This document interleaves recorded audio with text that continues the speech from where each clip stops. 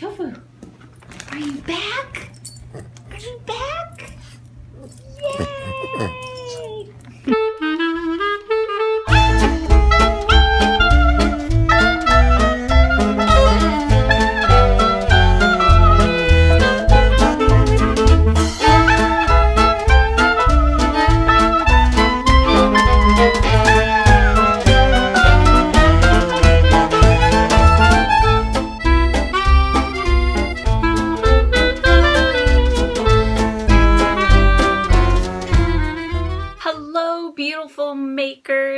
Welcome to episode 14 of Stitching the High Notes, a video podcast about knitting, sewing, and all things crafty.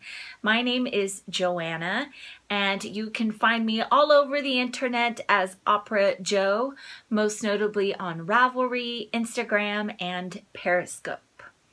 Hello! I have missed you all. It has been three weeks since my last confession.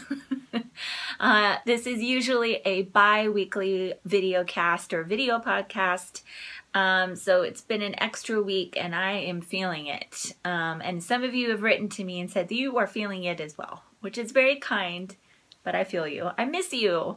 It's weird to say I miss you because I'm just talking into my camera, but I do miss you. So I have much to share with you all.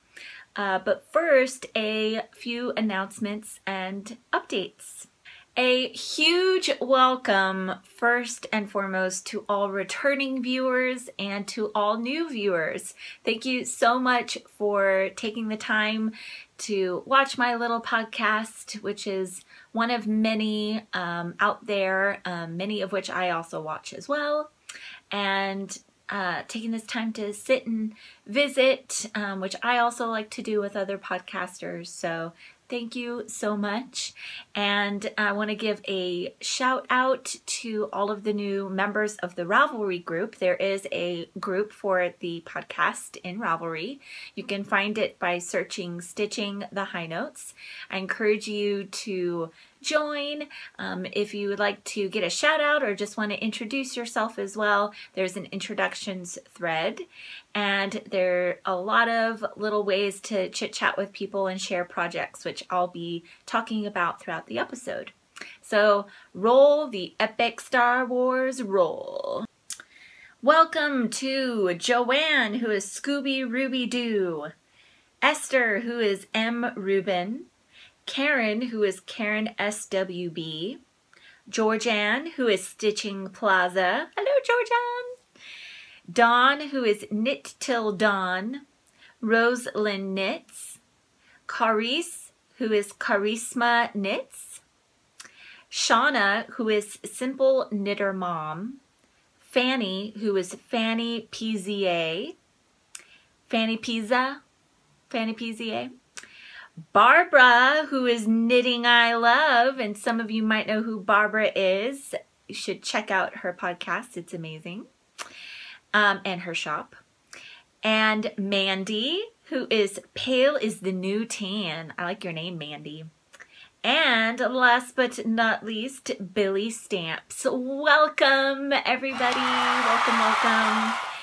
So, announcements and updates. Uh, where to begin? Let me look at my show notes because it's not going to hopefully be a long podcast, but I'm trying to cram a lot in here. First of all, let's acknowledge that we're in a different space.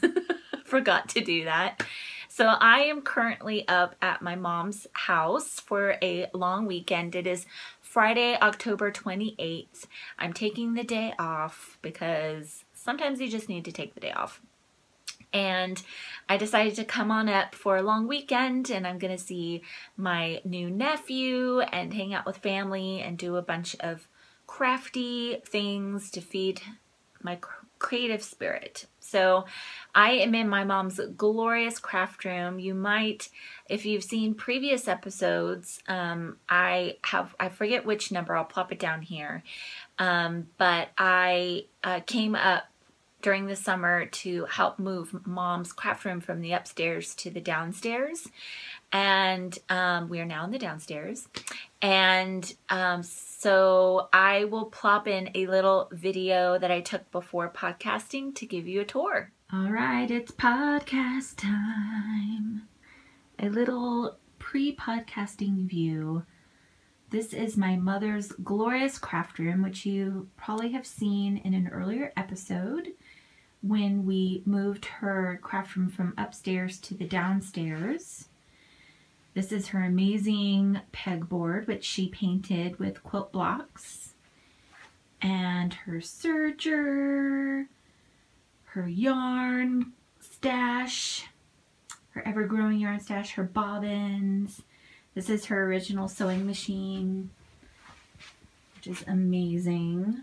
It's a tank. And then we have one of her design boards, some crafty amazingness, some stamps.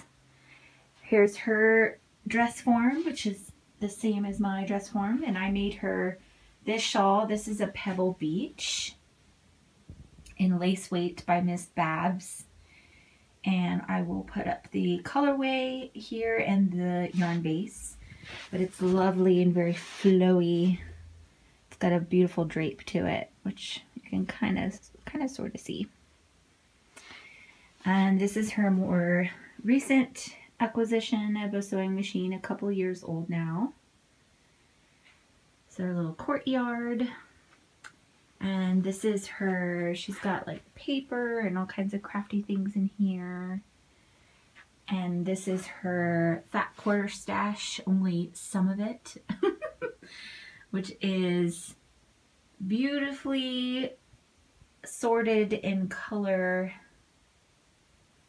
sequence, if you will.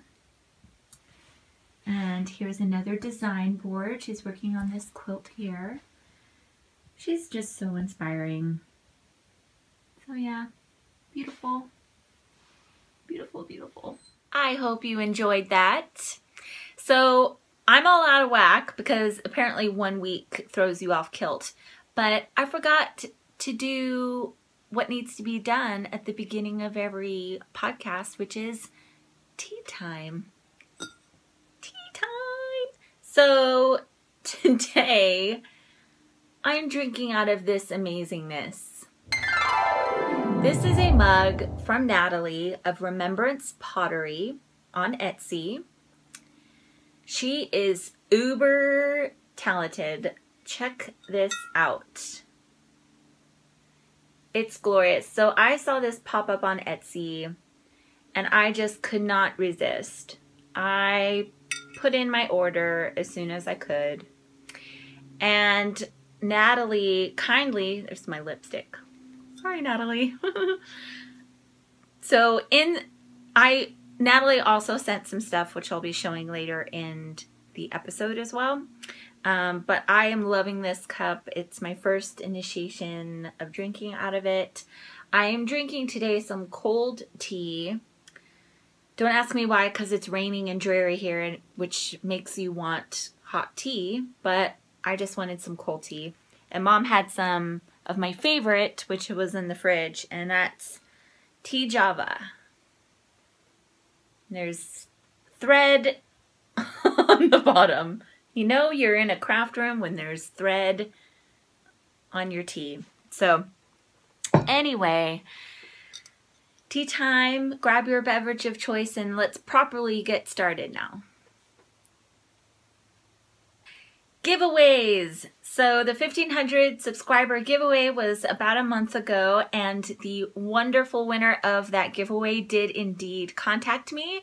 So congratulations again, Kitty. I will be popping that amazing Mrs. Brown's bag in the mail to you as soon as possible. And then we have a new giveaway. And if you follow me on Instagram, that's where I announced it because it was also a um, thank you to all of the wonderful followers on Instagram. I went above 1,000, which is crazy. And during the last three weeks, we hit above 2,000 subscribers on the podcast, which is amazing. so thank you guys so much. I could gush forever, but I won't. But thank you so much for watching and for subscribing. So as a huge thank you, and since Rhinebeck was a couple of weeks ago and I'm working on a sweater from Ysolda Teague's amazing book, The Rhinebeck Sweater, I put a prompt on Instagram um, to give away a digital copy of the Rhinebeck sweater to a lucky winner. And the prompt was that you had to like the post to make sure you followed me on Instagram and then um, tag some of one to three of your friends um, in a comment in the thread of that post. So I went ahead and did a random number generator. I eliminated folks that didn't tag anybody and all that jazz. And I have a winner for you. So the winner is Dana, who is Dana Ray 19 on Instagram. Congratulations! So Dana, go ahead and contact me on Instagram through direct message and um, confirm what your ravel what your Ravelry name is. I'll try to look it up um, to confirm as well on Ravelry, and I will send you that digital copy of the Rhinebeck book as soon as possible. I'll probably announce the winner on Instagram after I film this episode as well. So thank you all so much for participating. Don't worry if you weren't on Instagram and you missed out. There are many more giveaways on the horizon. I just wanted to do something special for all my Instagram peeps. So, the Pumpkin Cal. The Pumpkin Cal is in full swing, y'all, and we are about to enter our last month of the Cal. It is taking place, it started September 1st, and it ends November 24th. It is to knit, um, to crochet, to spin and then knit um, anything that is pumpkin related. The yarn could be pumpkin um, related. The project is pumpkin related. Just describe how it is pumpkin inspired in your FO. So uh, in your FO post. So I am co-hosting this amazing CAL with Gabby. Hi, Gabby. Gabby is the wonderful host and yarn dyer of Upon a Corgi and Once Upon a Corgi podcast. And she and I are co-hosting because we're both pumpkin obsessed and many of you are as well. And we wanted a way to, to like exude our joy about pumpkins. so, weird, but true. So we um, started this CAL back in September and it's a long one. It's about three months almost because mainly for selfish reasons, I'm working on a cardigan that I knew was going to take me until November 24th to finish, um, which I'll be showing um, in WIPs in just a little bit. Um, so we have many, many prizes for this CAL, which I'll I will detail in the next episode, which won't be in three weeks. Knock on wood. I might it might even be the following week. We'll see. But um, and I'll go through all of the wonderful prizes. But there are some new ones that I want to tell you about. So before I show you the new prizes, I want to make sure you guys um, check out the Ravelry group. There's a chatter thread and an FO thread. And in the chatter thread, all of the rules and details about the CAL are there should you have any questions. So the first new prize um, Gabby showed on her most recent episode, and it is from Michael, who is of Apateno Knits. Apateno Knits. Apteno Knits. Sorry, Michael. and he has an Etsy shop of the same name. He is also the host of the Penguin Coffee Clutch podcast. And he donated, pictured here, a skein of wood warbler in his Stellina base. And Gabby shows it in person on her podcast, so I encourage you to go check it out. It looks squishalicious and gorgeous. The next new prize is from wonderful Marianne of Sinister Yarns. And she contacted me and said that she wanted to donate um, some prizes. And so she donated this gorgeousness. Check it out. I'm trying to cover my face so it focuses. Here's her label. And this is Sinister Sock. It is in the Witch's Rave colorway. And it is 75% superwash merino, 25% nylon, 100 grams, 463 yards. And to go along with it, she sent this adorable stitch marker, which is a robot and it's so awesome. Thank you so much, Marianne. So those are the new prizes for the Pumpkin Cal. Check out the threads in Ravelry. Um, knit up those pumpkin related items. There are so many glorious projects going on and that have just recently been finished. You guys are amazing and so inspiring. This is so much fun. I love pumpkins. Okay, moving on. so delicious. So I do sew every once in a while. I like to talk about it a lot more than do it, apparently. but I am actively sewing something right now, but it is a surprise. Um, I've mentioned in, I think just the most recent episode, episode 13, that I um, am doing a swap for Advent calendar swap that the lovely Melissa of the Spicy Homemaker podcast, hi Melissa, is hosting. And my swap partner is the amazing, awesome Granny. I'm so honored and excited. And so I'm busily preparing, um, doing the final touches and um, doing some of the bulk stuff. That's partly why I came up to mom's casa because, hello, she has like every tool you could ever imagine. So why not?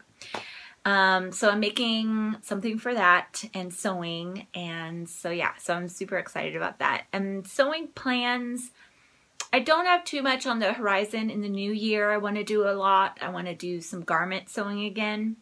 Um, I am just always busy at this time of year because it's holiday season, which means I'm a fundraiser. So it's end of year giving time and it's also holiday music time, so there's a lot of music to be sung. So it's a little busy. Finished objects. I have a hoe, a half object. I forgot my sock blocker, so I hope you forgive me. This is Nomadic Yarns in the Halloween colorway.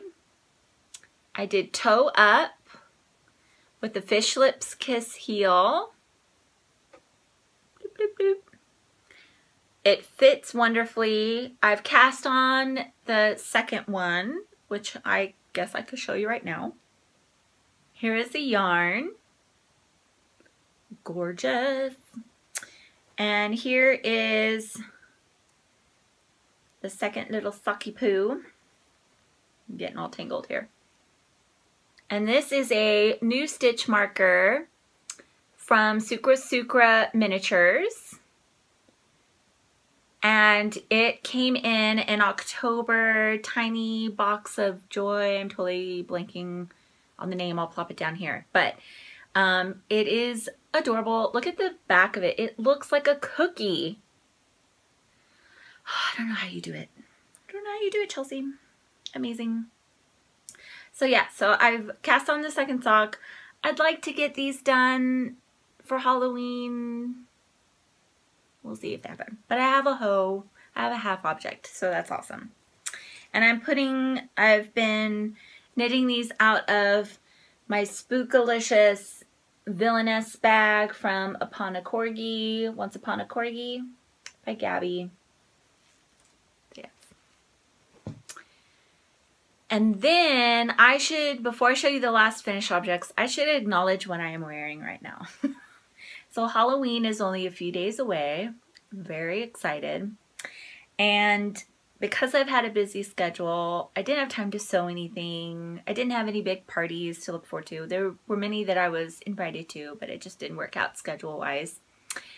So I thought I I happened upon this t-shirt on Amazon and on Etsy and some of you who have watched the podcast and who know me know my love of Game of Thrones and all things nerdy. And I couldn't resist. A girl has no costume. I love ironic costumes. It's my favorite. One year I went as um, pregnant, pregnant Britney Spears. the first time that she got pregnant, just cause, yeah. And um, I can't remember. One year in New York when I first moved there, I went as um, I went as a hipster because that was when I like learned about hipsters and hipsters became this thing and I I thought it was hilarious, but I ended up just blending into the crowd, so it was really funny. Anyway, on to the next finished object. So I have been showing these a million bajillion times all over Instagram, but I'm going to show them here. So I am making pumpkin hats. They're so cute. So this one is obviously for my nephew. I'm not gonna lie, I'm probably not gonna block it. I probably should. But it's super cute. So the pattern is, let me look this up here. It is Pumpkinhead by Tara Thompson. The yarn is Cascade 220 in the pumpkin colorway. And it the top here is knitted wit yarn and it's a DK yarn and it is the double bubble in the Mighty Oak colorway. And I used size 6 needles. For this guy I used DPNs. I know, me using DPNs. It's happening more and more. Just have to face the facts. And then for the adult size hat, because y'all know there was going to be one, I used um, 16 inch circular and then I went to the DPNs for the top to reduce it. So the leaf, I think is by the same person. Um, it's a free pattern, the pumpkin hat pattern and the leaf pattern. It's super easy. And then I just sewed it down, like tacked it down here. So I'm going to ruin my hair and I'm going to show it to you. Ta-da! it's super cute. I love it. I'm probably going to make one for myself at some point. So this one I'm making, this is for the nephew and I'm making one for my brother-in-law and for my sister. And so they'll be wearing it for Halloween in a couple of days. And I'll show you the where I'm at with the third and last one um, in WIPs here in a second. My hair, it's like very Berkeley today. WIPs, works in progress. So we'll keep with the pumpkin head theme here and I'll show you where I'm at with the third pumpkin hat. So I cast this on a couple of days ago and I've been working on it at night and in meetings as well. Um, and this is where I'm at with the third one. So I think tonight I'm going to be editing. So once I finish editing, um, I can probably work on this guy and try to get it done. I'm using my little stitch, pumpkin stitch marker from Slip Stitch Studios. And yeah, I like this yarn a lot. It's really cool. It's very springy. Um, like I said, it's Cascade 220 in the pumpkin colorway. Shocker. And here is the, um, here's the ball of the knitted wit yarn. But here it is all in the hank, the mini hank. I was so happy to find this. I got this at my local yarn shop, Avenue Yarns. And I was so happy to find this because I didn't want a big skein. I mean, you could always use yarn. I mean, right? But um, I'm glad I found these little guys here because it was just perfect for what I needed. So that's WIP number one. WIP number two, which you saw was the second sock uh, for my Halloween socks with Nomadic Yarns. And WIP number three is I did a bunch of work on the architecture scarf for my friend Radoslava. I gave this as a gift to her last November. and I'm trying to see how far I can get before her birthday, which is coming up. So I have this in my Create bag from Little Skein in the Big Wool. Love, love Annie's bags. Love her bags. And um, so I'll pop up a picture here of what the pattern looks like. And I got pretty far on it. Um, let me see if I can. Here's here's a skein of the yarn I'm using that isn't attached to my project, so don't freak out. but this is Miss Babs in the Caroline base in the pewter colorway.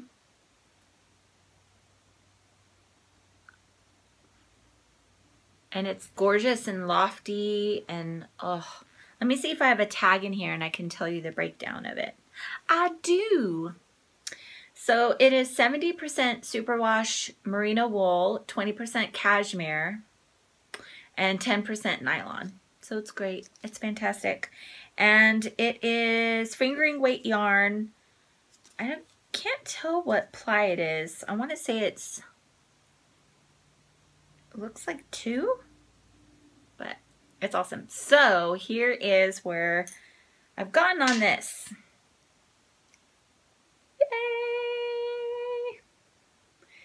I love this project. It is so wonderful to knit on. It's very potato chippy. Um, I probably plopped it up who it's by here a minute ago, but it's by Jennifer Weissman. I'm using size 9, size 9, size 5 needles. I'm using my Karbonz.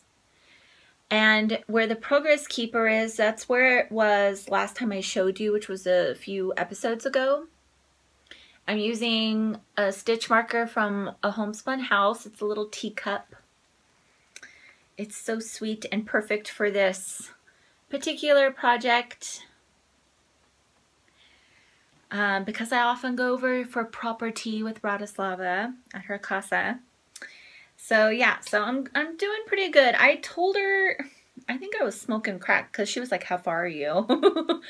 uh, when I saw her a couple of weeks ago. And I said, oh, I'm halfway there. And I'm, eh, I'm almost halfway there.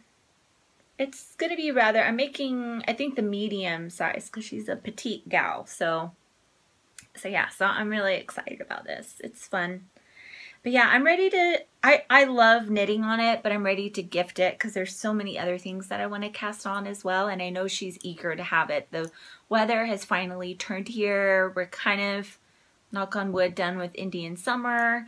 Um, and so it's like proper autumn now. And especially in the city, it's back to being foggy and cool. And so yeah, so that's WIP number three.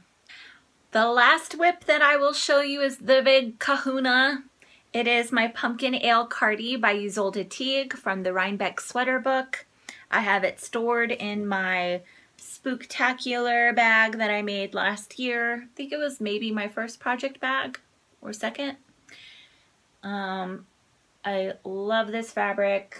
It's kind of wrinkly because of the interfacing I used, but yeah. and it's got awesome lining. And I'm not as far as I wanted to be on this, but I'm still pretty stinking proud of myself for how far I've gotten at this point. It's much further than I thought I was going to get. So the yarn I'm using is Miss Babs in the roasted pumpkin colorway. Gorgeous. It's worsted and 100% merino wool, I believe. And without further ado, I, if there's a drum roll effect here, I will enter it as I try to figure out how to show you. And here we are. Kaboo! so I finished the left right panel, I think is what you call it. So first I'll show you, if you haven't seen already, this is the gorgeous back panel. And then this is the left panel. And where I showed you last is where the cute little pumpkin pie stitch marker is. And I'm to do this way to kind of show you what's up here. It's on waste yarn now. So I did the pocket. I'm a little concerned. So I couldn't find a bigger crochet hook to do the provisional cast on um, for some scrap yarn and then you use that. I'm not really giving away too much secret sauce here, but um, and then you cast on for the pocket part of the pocket here. And so it's really small and I'm worried it's gonna be a much to to do to undo when I finish the pocket later on. Um, but it went really well. And this is, I increased successfully for the arm hole, did the cable cast on. There's a little bit, you can see where I kind of shifted gears here. There's like a little bit of a like thing there, but I think that'll be okay. If it really bugs me, I can always sew it up, but it's not a huge deal. And so there's kind of the panel. It's rolling up on itself, so there you go. And so in the pattern, eventually I will, I'm kind of red, um, eventually I will pick up the stitches along here and then there'll be more of a, um, whatever you call that, band right here, collar band on the side. So I'll plop up pictures here so you can see a picture from the book of the finished project so you can kind of catch your bearings. But I am loving this. I adore it. I really do think once I get through this week of making other projects that I will definitely be able to focus on this and finish it for, oh, holding it upside down. finish it for Thanksgiving, which is my goal is to wear it for Thanksgiving, if not sooner. But I adore it. Yay! Okay. In the queue. So this will be an in the queue that will lead into acquisitions and in the postie. All together. What was it one time, you know when you're a little kid and um, some kids, at least I did, at some points wanted their food all in separate areas of their plate and they didn't want it to mix together. It couldn't like get cooties from the, the peas couldn't give the meat the cooties. And um, there's a saying that, you know, just mix it, it's all going to the same place. So just like mix it up. So that's how in the queue and acquisitions and in the postie is today. It's all going in the same place. So the place of joy in our hearts. So in the queue is that I've talked about this briefly before and I'm trying to do it. We're at a very precious time in our country, in the USA. I think y'all know what I'm talking about. And um, I have my views, but I, especially on here, stay neutral. I also have friends who have all, like the range of viewpoints and beliefs like is like the rainbow. so I um I do not want to even go there. But I have to kind of go there to tell you about this project. So my sister and brother-in-law are huge Democrats. They're huge Democrats. If I had friends who were huge Republicans, maybe I would do this project for them as well. Talking to you, Donna. but I um am making for my nephew this lovely little sweater that I had seen on Ravelry. And it is the Littlest Democrat Donkey, which is a chart that was created by Franklin Habit. And it's a free pattern or chart that you can get from her website. I believe it's a lady. Might be a dude. I don't want to assume. Um, so I Picked up the yarn just this morning when I went to Joann's, which I posted about on Instagram, and it was glorious. As promised, a peek inside Joann's.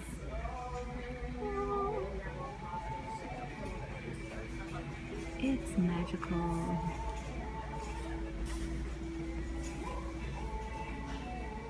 And I picked up this yarn for the sweater and I'm going to be making the flax sweater by Tin Can Knits, which is a free pattern.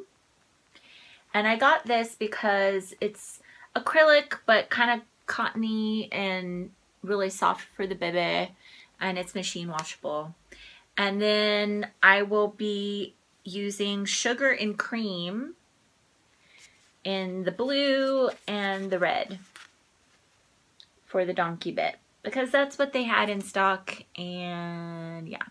So I looked for kind of white baby yarn that had a similar ply and twist and so it's pretty close you can kind of see so I'm going to be casting that on this weekend and trying to do my darndest to finish as much of it as possible before the big the big day, the big E day.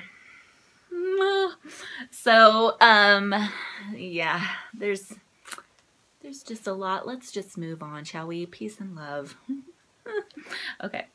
Additional acquisitions and in the postie. So a huge thank you to lovely Jerry, who is M Town Knit Guy on Ravelry, and he surprised me and sent me a Glenallen shawl by D. O'Keefe. So thank you so much, Jerry. That was so very kind of you. Um, and acquisition. So I, last week, intended to go to this gluten-free bakery. This was pre Whole 30 and this is why I wanted to go to this bakery. I attempted to go to this bakery called Mariposa, which is um, all gluten-free, it's celiac friendly. I'm not celiac, but it's celiac friendly. And I wanted to get like all of the pumpkin baked goods in before I started the Whole 30. And which I'll be talking about later on if you guys are like, what is Whole 30? What are you talking about? Don't worry, I'll talk about it. But um, sadly, when I got to Mariposa Bakery, their server was down and they were only accepting cash. But the bright side was that I realized I was not too far away from a verb for keeping warm. And if you're not familiar with this magical place, this is a yarn shop in Oakland, California.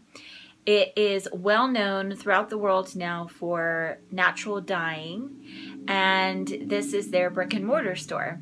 And they have their own yarn, they sell all of the hot brands, and they have classes and spinning classes and dyeing classes and so much amazingness there. And I've been a handful of times. I mean, I've only been knitting hardcore for about a year and a half now. So um, there's a lot that I still want to do, especially around this area. It's a big place for natural dyeing and for um, uh, spinning and for local wool and all that stuff. So I went to a verb for keeping warm because I have another thing that's in the queue, which Lindsay, I think you know about this. If you are watching, I want to be surprised, skip forward. If not, get ready because I'm about to spoil everything. so my friend Lindsay just had a baby girl. Cute. And so I asked a while ago, I was like, are you for or against bonnets? Because I want to make a bonnet. So this, I'm going to be making a bonnet that is the Violet Bonnet by Melissa LaBarre, which was LaBear, which was in the Making issue, number one, Making Magazine. By the way, I can't wait for number two to hit my local yarn shop. I'm like so ready to get that issue. So I um, wanted to knit with Quince, Quince & Co., which is what is used in the magazine. And I went into Verb for Keeping Warm and I went to, did a beeline for the Quince & Co. And I picked up this little wee skein here. And so this is in their Tern base, which is, um, does it say? oh yeah, 75% American wool and 25% silk. Fancy baby bonnet time. So this is um, in the Wheeler Bay colorway. I just thought it would look beautiful on the wee baby and bring out her eyes. So I'm going to be making a bonnet for this, for the little gal. And I think the size of it is probably for, says for a kid. So um, she probably couldn't wear it yet, but it would be a keepsake. So I'm really excited to cast this on. And I'm loving this yarn. It's kind of got a good twist to it. It's very lofty and springy. Um, yeah, so I will let you know as I as I work on it. It'll probably be um I don't know when I'm gonna cast this on because I'm so focused on I'm looking at my pumpkin ale. Like just like I have to finish that. And the architecture shawl. So get ready, Lindsay. It's on its way. The other thing that I picked up out of Verb for Keeping Warm was something that I've had my eye on for some time and I thought about getting it and just couldn't do it yet and I think I knew that Verb help um, had them there and I always try to get things from my local yarn stores before I order online. So um, this is the Knitter's Keep by Coco Knits. This is what it's got in it and I'll talk about it here in a minute. So this has a magnetic silicone slap bracelet, small stitch markers, 10 large stitch markers, 10 opening stitch markers, a bent tip tapestry needles, curved cable needles, and a 100% cotton bag. So let me show you this amazing, amazingness. So it comes in this little cotton bag here, and inside is an Apple Watch size magnetic slap bracelet thingamajigger. And I just got, they only had the green color, but I was a-okay with that. So here it is. And it's got the Knitter's Keep, Coco Knits, and you just old school style, slap that on. and I will have to figure this out because I actually, I don't know if I can show you. Let me see if I can get fancy here. So on my Apple Watch is an app that is for iPhone and it also goes on to Apple Watch and it's called uh. And it's not working now because I have my phone, which I'm filming on on airplane mode, but I'll shoot, maybe shoot some footage, make some work for myself in the post editing and um, show you how it works on my Apple Watch and I use it as my stitch counter. That was a long way of saying I use it as a stitch counter. so on this arm is where I would keep this guy and all of the little notion things are in these cute envelopes. And the curved cable needles are metallic. And there's two in here in case you need to. But I've uh, found out that I really like this particular one. And you just pop it on there. Boom. And I was thinking, man, this would have been nice when I was working on the back of my pumpkin because I I tried to do it. They give you, Ysolda has wonderful, Ysolda Teague has wonderful instructions on her website about how to do cabling without a cable needle. I just, it, it was too finicky. It wasn't my, my thing. Maybe in the future, but I enjoy using the cable needle and I'm hoping this will make it even quicker and faster. And then if you're using, um, you know, if you're doing a project where you're taking stitch markers on and off frequently, um, this will be in handy too for your metallic stitch markers. So I am excited about this purchase. It was a not expensive, but not inexpensive, but um, I'm glad I sprung for it and went for it. So that is one of the acquisitions. Another acquisition from this morning from Magical Joann's was some fabric. So I had purchased before about a yard I think this is about a yard of this amazing fabric. Can I just have wallpaper in this, please? Thank you. And I'm thinking about, you guys let me know what you think. I'm thinking about the pockets for the pumpkin ale cardi. You um, used lining. And I'm wondering, yeah? Yes? No? Let me know what you think in the comments below because I think I think that needs to happen. So when I was at Joann's this morning, I turned a corner and I might have also actively searched for this too. I bought the rest of the fabric. I bought what was left on the bolts, which is about three yards. It's heaven. I seriously want wallpaper out of this. This needs to happen. I need somebody to come do it for me because I don't got time to figure that out. Gabby told me, I think on Instagram, that you can like, forget what it is, but you can put some stuff over fabric and she might have done that in her breakfast nook or something I'm sure it's possible, but, and I just totally wadded that up. I'll fold it properly. Don't, don't be scared. And then I saw this fabric for my stash for future projects and I couldn't resist either. See a theme happening here? I love polka dots. I love pumpkins. I love this graphic. So I bought the rest of the bolt too. There was a sale. There's always a sale at Joann's. So I saved like $25. So it's all good. So I told you about this amazing acquisition.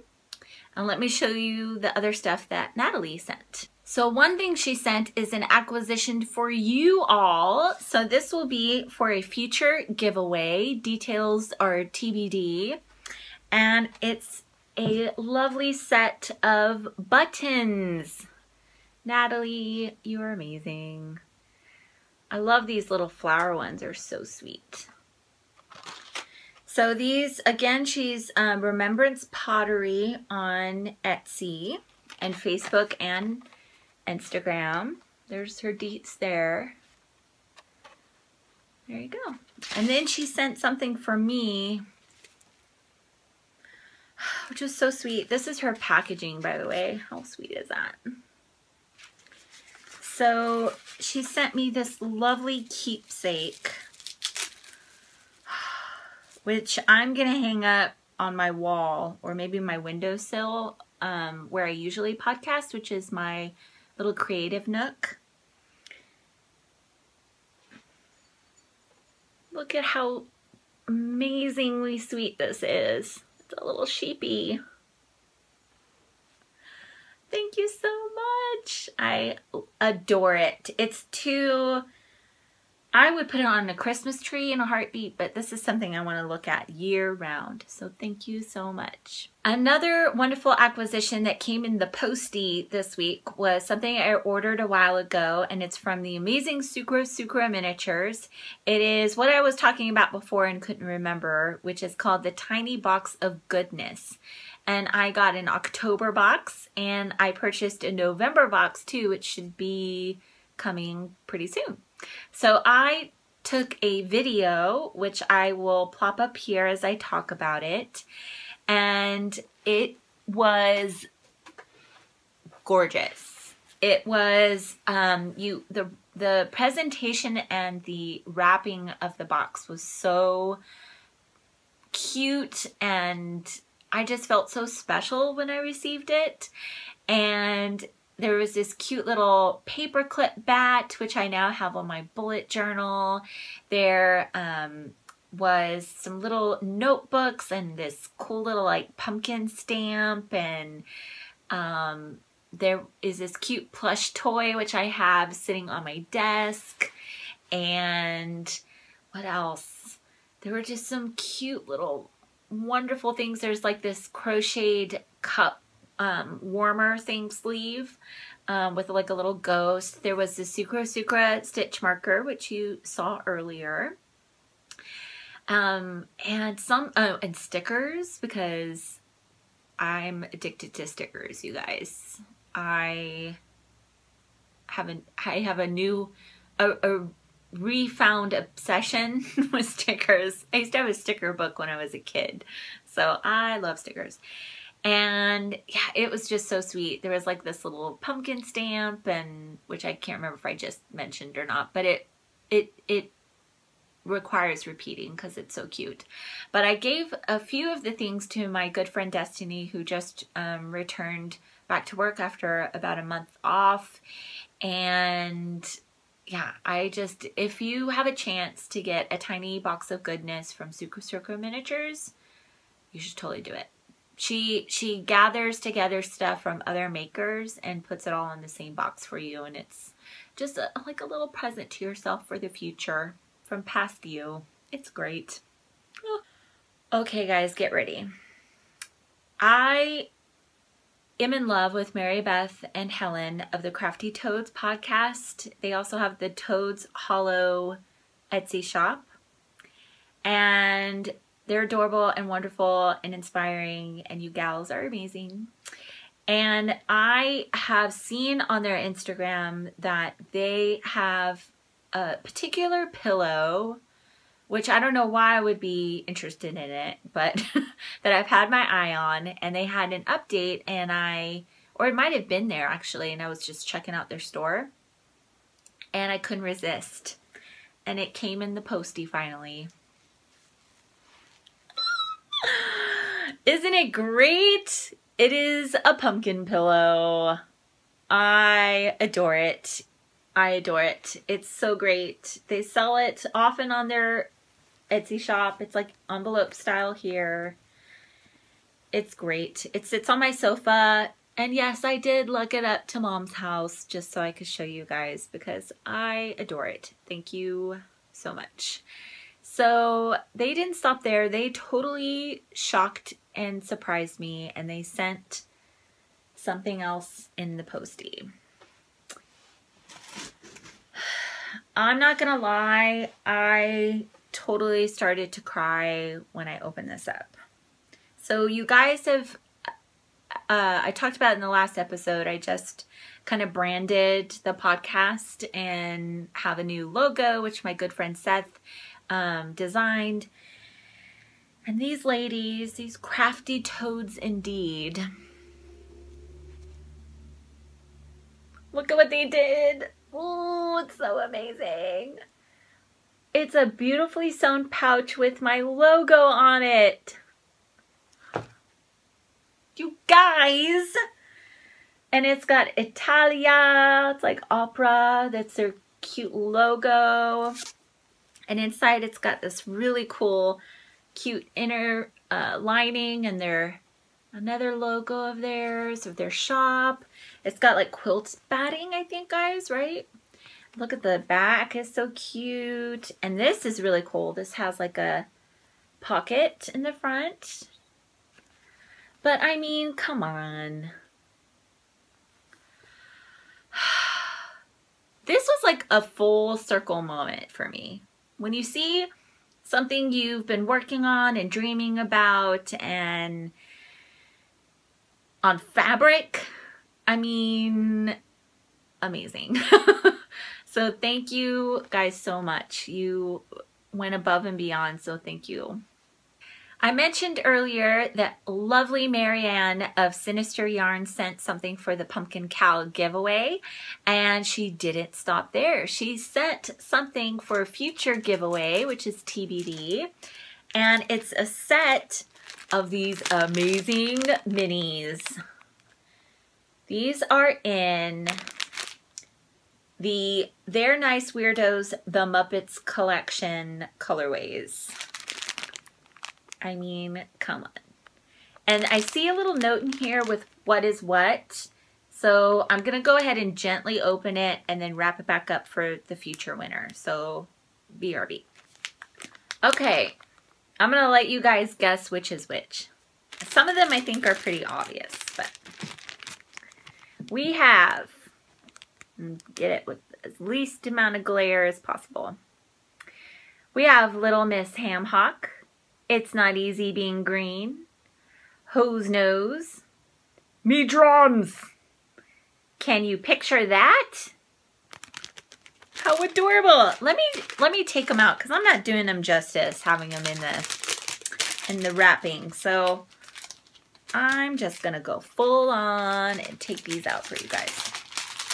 So we've got, I'll, I'll play the guessing game. I'll, I'll do what I think they are here. Okay, so, I mean, obvi, it's not easy being green, right? This is Hose Nose, I think, for Gonzo. I just got reminded that it's almost Christmas time and I can watch my favorite movie, which is The Muppet Christmas Carol. Super excited. Right. Um, this is Little Miss Ham Hock. I think we all can agree on that. And let's see. Me drums. I think Oh, y'all are going to be screaming at me. I think this is animal, right? Me drums. And then this is, can you picture that? And I can't remember what character this is. i have to look it up.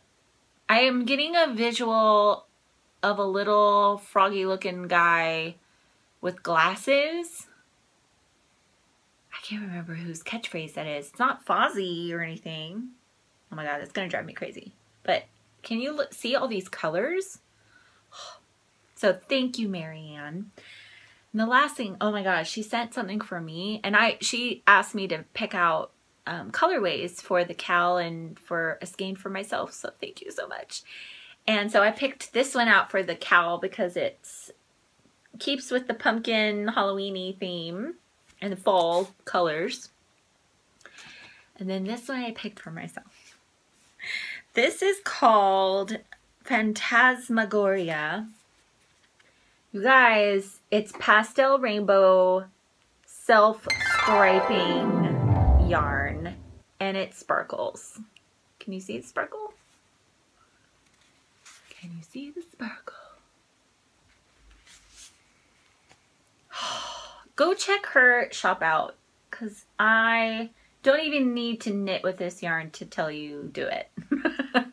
it is, oh, the colors, I can't wait to, I want to cast these on like right now. But this is, um, let's see, 75% superwash merino, 20% nylon, 5% stellina. So 100 grams, 438 yards. Amazing. Thank you so much, Marianne. Let's get the Muppet Gang back in their group here. It's the Muppet Show. I want to watch the Muppet Show now. A couple of acquisitions that I wanted to talk about, but um, I don't have them physically here for various reasons. One is that I bought the pattern from Satsuma Street for mini stockings and these just were released recently and I don't know if I'll get to them this year, but I really want to make some for my house. In our house um, growing up, we had a stocking for each person that mom, I think, had cross-stitched um, or embroidered. I think they're cross-stitch with our names on them. And she would hang them on a wall and put little cinnamon sticks in them. And I thought it would be cool to put these in my house just cause. And I love Satsuma Street's aesthetic and all of her patterns. So I quickly got that pattern the other day. And the last acquisition I'll talk about, I'm not going to show until wonderful, amazing, magical, gorgeous, talented, inspiring Molly I think that's enough titles. I don't think it's enough titles, but Molly of a Homespun House Um, I ordered a while back now. I was so lucky to get in on the Tim Burton Yarn Club. Happy dance! I'm not going to show it until she shows it on her podcast because I don't want to spoil anyone with the amazingness. But my friend Margaret also got the club and she texted me, I think it was on Monday of this week, and said, OMG, I just got the first Tim Burton Club installment. Did you get it yet? And I was like, no. She's like, it's more amazing than I could have ever thought. And she was so right. She was so right. It's perfection. It's perfection. I want to cast it on now. I want to cast on all the things. And yet I want all of the things off my needles. I'm so torn. There's so many people I know that are I talked about this last time too, that are feeling the same way. Like you want everything cleared off your needles so you can cast on all the other new things. I'm crazy. Anyway, that that was my tea. um, the yarn is speckled gorgeousness. Ooh, I just gave something wrong. She's the queen of speckle, so I'm not really giving anything away, right? Anyway, it's it's amazing. And it also, this is a partnership with, I sound like a broken record, with the amazing Sucra Sucra miniatures. So there was a corresponding uh, progress keeper with it. I can't wait to show you guys. Tim Burton. Love it. Brief what I'm jonesing for segment. So this is a segment to say things that I have caught my eye recently, to highlight them if you haven't heard about them yet, or to open up a discussion about um, the fact that you've also heard about them in the comments below or in the Ravelry group. There's always a um, thread for uh, each episode, so you can always plop in a convo there. But um, here are a few items that in the last few weeks I would jot down in my bullet journal or in my phone. Most most of the time in my bullet journal of things that have caught my eye. So I can't remember, I think maybe Kiltcraft Nessa or somebody that um, was talking about this designer and then she's just been popping up all over the place. Actually, it was um, seeing, they're doing a trunk show right now at A Verb for Keeping Warm. So this is Andrea Mowry, who is of Drea Renee Designs. And I saw some of the knitted samples for her designs at A Verb for Keeping Warm and I want to make everything. Her aesthetic and her designs are pretty spot on with what mine are. They're very angular, very kind of art deco very architectural, but very feminine, feminine, feminine and warm and classic and oh, it's gorgeous. If you haven't seen her designs, check her out like right now on Ravelry and her website.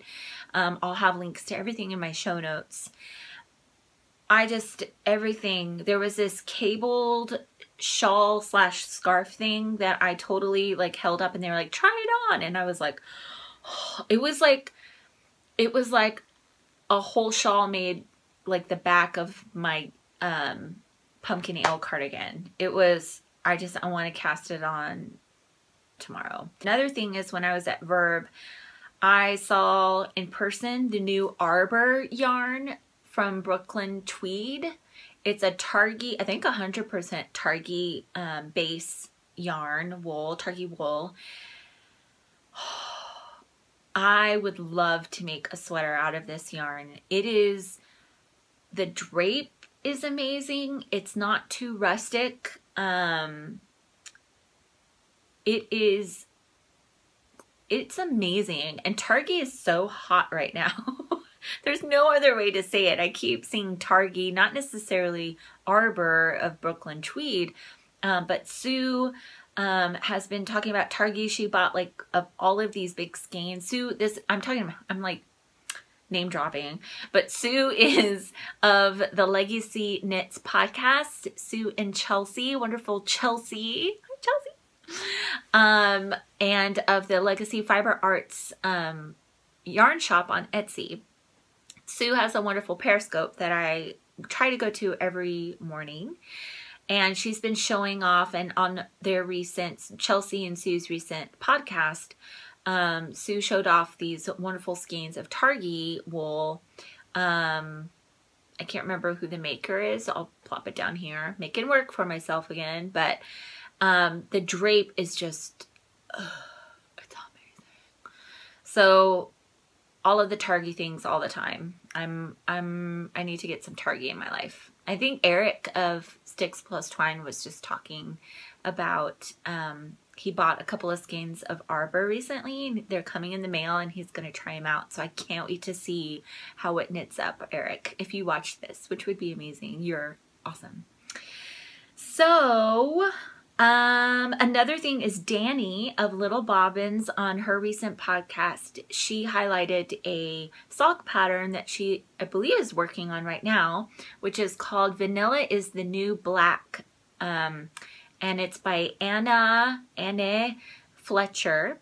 And what's interesting about this sock is that there's a ribbed heel and the heel just looks very intriguing. I would love to try this heel and this sock pattern. So that is kind of in my queue and um, something I'm jonesing to do in the new year probably.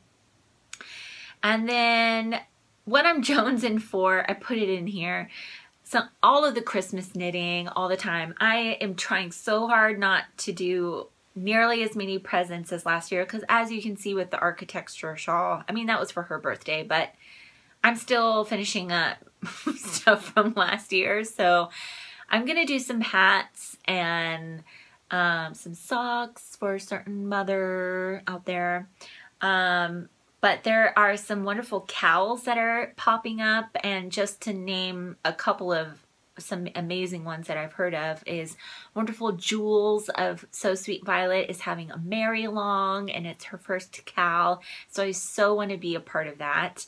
And of course the amazing Dan and Kay of the Bakery Bears who I do not talk about nearly as much as I should because I love them. They're one of my first podcasts and I'll just come out and say. I'm a Patreon sponsor of them and proud of it.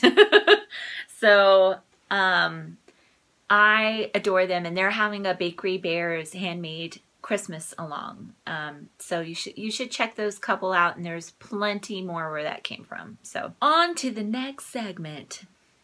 Backstage Knitting.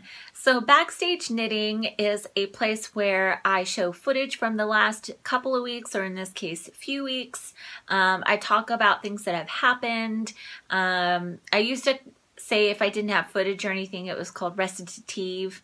I go back and forth, but it's basically backstage knitting is what it's become. Um, and it's uh, some of it's yarny related, crafty related. Uh, most of it has to do with my work either at the theater as a fundraiser or um, as a singer and also in my personal life. So um, the things I wanted to share with you all and feel free to skip this bit if you wish. Um, I'm trying to be better about putting timestamps in there, but anyway, if you watch, if you subscribe to this, you're probably into the backstage knitting bit. so in the last couple of weeks, I sang in a concert series, um, which took up all, amazingly, all of my time. I knit on my Halloween socks and that was about it. I didn't even touch my pumpkin ale cardie, which is why I only got as far as the one panel. But um, we sang the symphony chorus. I'm part of the San Francisco Symphony Chorus, and we sang with the symphony the music um, live to the showing of uh, 2001 A Space Odyssey. And leading up to it, the music was kind of like weird. I mean, it sounded cool, but to sing it was kind of like, huh, we called it zombie music. Let me, oh, I'm on my phone recording, but I wish I could show you. It was basically going, ah, like it was crazy. Um, but it sounds super spooky when with the movie um, because the chorus sings, um, the full chorus sings when the monolith is shown, the big black pillar thing in the movie. And so it's super spooky and crazy. And then um, the ladies, the females, the ladies sing um, during when they're like going to the monolith or there was some other sections like when they're talking about space and they're getting ready to go to the monolith. So I wasn't always sure when that bit was happening because obviously I was singing and had my face in music. so it was a fantastic experience. It was a bonding. I love doing shows like this where it's um, with the symphony. It's not a traditional um, kind of classical concert and it's not something that we have done a bajillion times or I have done a bajillion times like Handel's Messiah which is coming up and um and it was also really interesting because the crowd was a lot of new a lot of new folks to the symphony. A lot what we were hearing it was the first time that a lot of folks had been to the symphony it was a lot of tech bros a lot of tech ladies um which was to be expected and awesome. And it was there was one audience member in particular that was on the first night and it was the weirdest thing, weirdest audience member that I think I've ever seen in my whole time performing, which is going on 15 or 20 years. That's crazy. Is that for real? If I count back that far, yeah. Anyway, definitely as a professional, it's the weirdest thing. And I'll pop up a picture here. It was this dude dressed like a wolf or a saber tooth type, not lion or something, full on dressed like it. I have video of it too. And it was so hilarious and weird. Some people were kind of scared. They were like, oh my gosh, is he gonna like start shooting people or something? I was like, I hope security would have checked the dude in a full wolf suit before they let him into a crowd full of thousands of people. But um, no, they were, it was just, he was just a dude in a wolf suit. And what was funny is that he was sitting, or she, I don't know if it was a girl or a boy, um, was sitting behind the lead actor from the movie who was there the first night to talk about the film, the guy who plays Dave. I think that's his name, his character's name. So it was surreal, but the experience, the music gave us chills, like when you hear the dun, dun, dun, ba and the um, organ is played during that bit. So you can feel the ground rumbling with that particular organ piece because before any of the trumpets come in, it's just and you just like oh, it's it was crazy. So enough about that, but it was it was a fantastic musical experience. It turned out to be, even though it was zombie music, it was great. Um, it is raining here, which I kind of talked about. I don't know why I put that in my show notes. I think it was the first time it had rained when I did my show notes. I had hoped to um, film last weekend and it didn't work out, which I will tell you about shortly. But um, it is raining and everybody freaks out when it rains here, partly because we've been in a drought and people aren't used to it.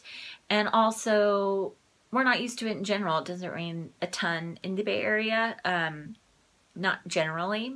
Um, and, you know, our systems haven't had a ton of rain, so they get clogged up really easily. But I love the rain. I love full seasons. I actually really miss living partly in the Midwest.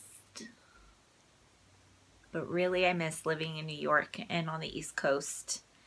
I'm a California girl. I'm happy where I'm at. I'm flourishing, but this time of year especially, oh, I miss New York.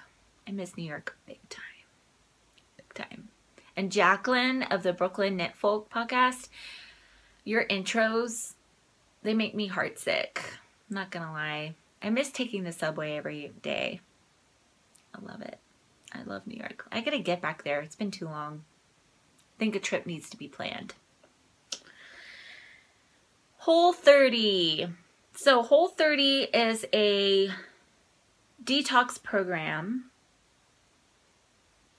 That I don't like that. Let me look up what it says. I feel like I need to represent Whole 30 here. Oh. I wonder how long that black dot has been on my eye. So Whole 30, oh, that is a fail, but there you can kind of see it. So Whole 30 is a 30 day reboot of your system. It's a way to eat and get your body off of using sugar and processed foods as a way of um, using those foods as energy um, and getting back to natural fats and the way your body is actually supposed to run. And it's a way of eating that is highly recommended for folks who have a lot of allergies, who it's not long term, it's 30 day, hence whole 30. Um, and for those folks who have autoimmune issues, um, for folks who have um, insulin resistance, etc. I did Whole 30 uh, for the first time two years ago, and I did like a whole 15, 15 days of it, um, probably about a half a year after that. And then after that, I uh, tried to do Weight Watchers and kind of combine paleo. Um, Whole 30 is basically super strict paleo. I've stopped doing Weight Watchers for a variety of reasons. Um, I might go back to it someday, but right now I it just was not working for me. So I was doing the coaching, which was amazing, and I'm so grateful for the Weight Watcher coaching, and it's and it set me on the right track and helped me figure out things that I want to continue working on with my relationship with food and with my body and my body image, um, which I've talked about before. Um, but I was like, I remember what I felt like after doing the first Whole 30, and I want to get back to that place and I want to work towards um, feeling that way long term. Um, because I felt like it was a place that not only physically I felt good, I felt emotionally really good. I felt like um, a, a, connectedness and um, a positivity that I haven't, I don't always feel with my body. Um, and many people don't, um, which is horrible, but it's true. So I started last Saturday. Basically, you, you cut out dairy legumes, grains, um, a lot of stuff. Sugar, of course, refined sugar, everything. Um, it's a very strict paleo diet. Paleo diet, you can have honey, um, you can have all kinds of stuff. But, and also in paleo, you know, you can have paleo muffins and paleo pumpkin lattes and paleo blah, blah, blah. But Whole 30 is twofold. It's a physical reboot to get all the impure things out of your body, and then it's also a psychological thing to keep, um, to get yourself away from relying on those pumpkin lattes for, for me, not everybody, I'm not speaking for everybody, but for me, it was like a little treat myself to get me, you know, to get to work or to get through a stressful day when I shouldn't be relying on a cup full of sugar to get me through a day. Like, that's cray cray. So, I'm doing this reboot. I feel so much better already. I'm also cooking more. I'm more in touch with my food. I'm also more in touch with um, um, making sure that I'm not wasting food because frankly, when you're on the go, go, go, you're, you kind of go, oh, I'll just let those green onions go. But when you know you don't have a, a lot of other options and you don't want you actually don't want those other options it's hard to describe um, you figure out how to make those green onions into something so i think the suburban stitcher I believe is her podcast name. She Diane, I believe. If I'm wrong, I'm sorry if I'm wrong, but I'll put it all down here. But she's been doing a whole 30 or finished it recently. Beautiful, wonderful Cece of the Geeky Girls Knit podcast, who I talk about often, um, has been doing Whole 30 on and off, and it's been wonderful for her health, if I may say so. I believe you talk about it, Cece. Um, and actually seeing Cece go through it again and seeing her results really inspired me to kind of just go, you know, you're you're banging your head up against the wall and trying to do something that isn't working for you and you need to kind of go back to something that really did and figure out how to keep that going going forward. So, um last weekend I didn't podcast because I went to the grocery store and, and I meal planned and meal prepped and cleaned out my kitchen and resorted my kitchen and it took me about the whole weekend to do that. So I could have sat down for an hour and filmed and talked to y'all, but it takes it takes a long time to edit and you know to make sure things are uploading right and everything and especially the way I edit, I'm like I love editing. So I, I spend a good I, I spend a good deal, a, a good maybe three or four hours, sometimes editing. So yeah. But I brought up all my food to my mom's house so I can keep on plan and make sure I'm not wasting any food. And I'll keep y'all updated. I'm using realplans.com, which I'll link in the show notes if you're interested and um, which is a meal planning site. It's great because it's fluid and flexible. You can swap out recipes, you can move them to different days. This coming week, um, it will be a test because I have a couple of nights of rehearsals and then all day Saturday I have performances. I'm performing in the Dia de los Muertos um, concert, which is an annual event with the symphony. I did it three years ago. I'll pop up some pictures from then. And I'll take lots of footage um, on next Saturday. But the ladies are singing um, with an, I think it's an all lady mariachi band, which I'm so excited about. I mean, how awesome is that? So it's a Day of the Dead. It's to celebrate the wonderful, amazing Hispanic community in San Francisco. And it's great because it really is a family event. All of the families come and celebrate the Day of the Dead and it's it's fantastic. So um, yeah, but I'll be having to pack all of my food for that day. Um, I could, you know, there's ways to eat out and and kind of figure out around that, but frankly, I'm really trying to break myself of that habit. I'm taking action, people. Won't you join me on this journey, on this non-nitty journey? Okay. That's gonna do it for episode 14. We made it through. Thank you so much for spending this time with me. I hope you all have a lovely weekend and happy Halloween to everyone who celebrates Halloween. And I hope you will share. Maybe I'll open up doing the spur of the moment, people. I would love, if you want, to um, open up a thread in the Ravelry group.